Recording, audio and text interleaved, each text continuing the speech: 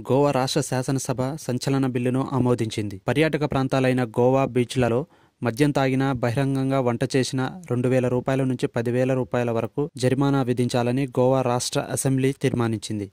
పర్యాటక ప్రాంతాలైన బీచ్లలో మద్యం విక్రయించడాన్ని కూడా గోవా సర్కారు నిషేధించింది. గోవాలో కాలుష్యాన్ని నివారించేందుకు వీలుగా బీచ్లలో ఒంటరిగా మద్యం తాగినా వంట చేసిన రెండు వేల రూపాయలు గ్రూపుగా మద్యం తాగినా వంట చేసిన పదివేల రూపాయలు జరిమానా విధించాలని గోవా అసెంబ్లీ సమావేశం తీర్మానించిందని ఆ రాష్ట్ర పర్యాటక శాఖ మంత్రి ఆజ్ గోగ్కర్ వెల్లడించారు. జరిమానా చెల్లించకపోతే మూడు నెలలు జైలు శిక్ష విధిస్తామని మంత్రి పేర్కొన్నారు. ఈ నిర్ణయాన్ని Goa travel and tourism association స్వాగతించింది. Goa assembly చేసిన బిల్లుపై సంతోషం వ్యక్తం చేసిన అపెక్స్ హాస్పిటాలిటీ ఇండస్ట్రీస్ బాడీ అధ్యక్షుడు సావి మెస్సెస్ దాన్ని పకడ్బందీగా అమలు చేయాలని సూచించారు. Please subscribe our YouTube channel I seven news